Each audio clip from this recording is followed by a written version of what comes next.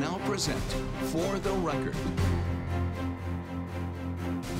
Welcome to For the Record. I'm Naomi Kowles. This show is taped on Friday. That's one day after the devastating news of at least 13 U.S. service members and more than 100 Afghans killed in an ISIS K attack outside the Kabul airport.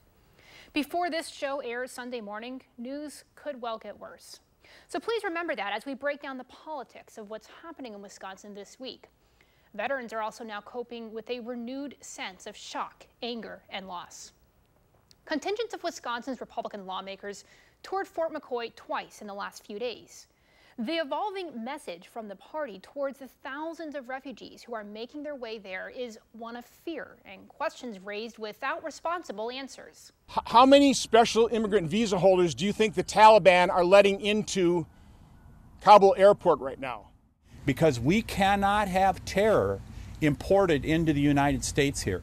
On Wednesday, I sat down with an outspoken Republican, former congressional candidate, and Afghanistan veteran.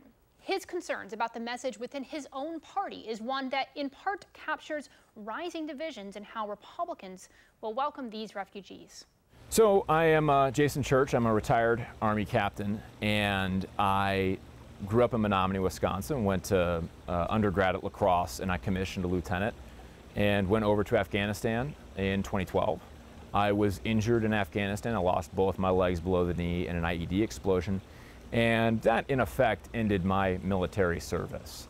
Uh, when I was over there, I was in one of the harshest areas of the country. It's called Panjway. It's near Kandahar. It's where the Taliban really was formed. So there was a lot of local um, uneasiness with, with our presence, and there was a lot of tough situations.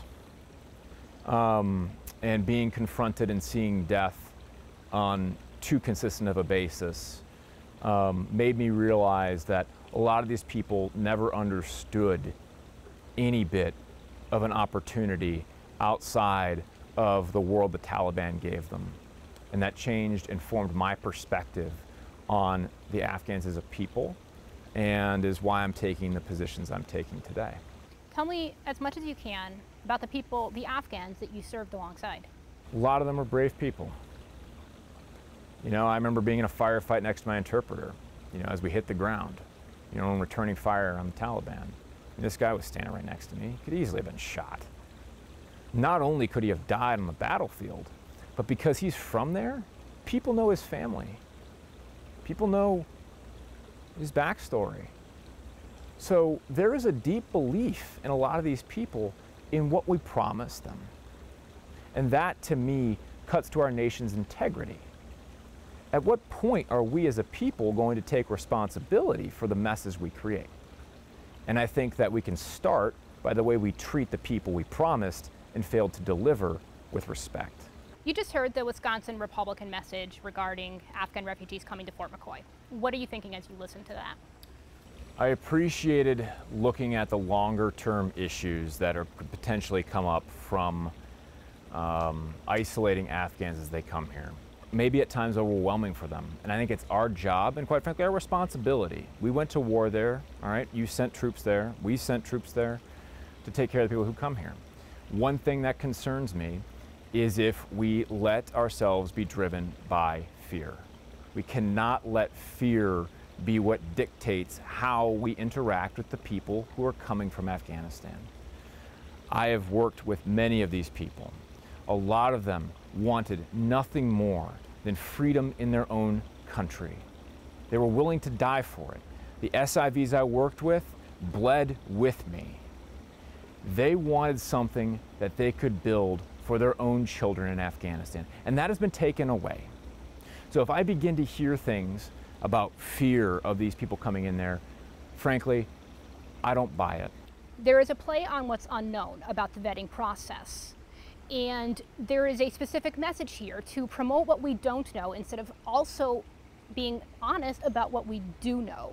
So the people who have SIVs are incredibly vetted because at the be beginning of their process as working as interpreters, we vetted them. And then we vetted them again after they had done their time as interpreters. The bigger question is the greater refugees, the people who, when they saw the Taliban falling, or excuse me, when they saw Kabul falling and the Taliban coming in, who grew up from the time that the U.S. first came into Afghanistan to now only understood the Western principles of freedom of expression.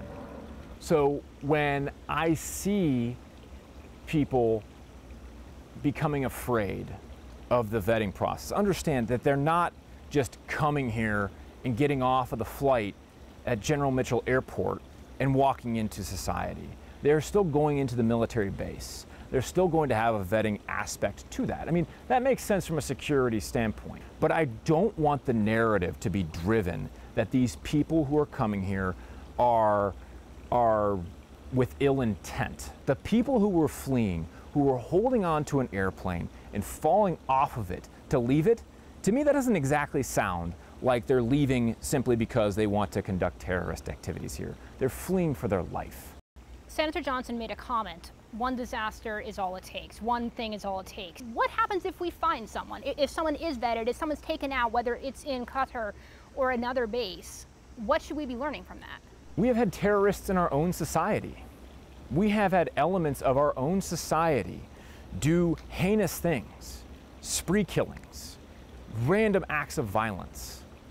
So to assume that a group of people who are coming over here just because we are fighting a war there will assume a, a, a, mentality of violence is ridiculous. As you're watching the events in Kabul unfold, who are you texting? Who are you messaging? What are you setting up?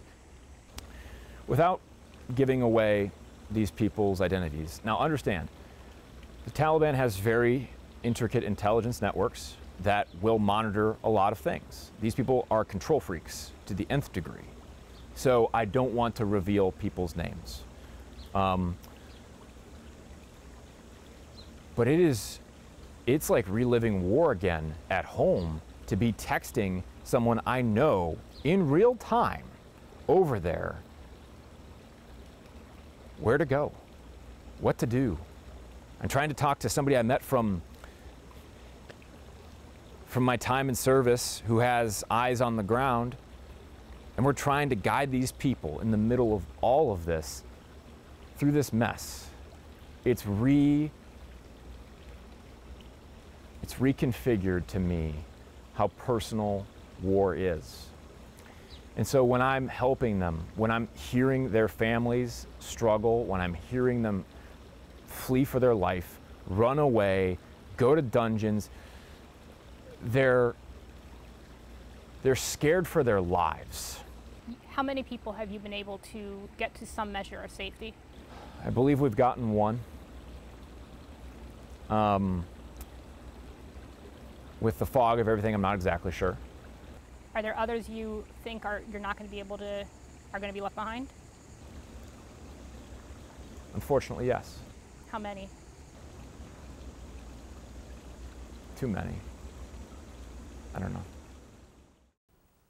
When we come back, hear from both one Afghan who is now resettled in Madison and from the veteran group who saved his family stuck in Afghanistan just this week.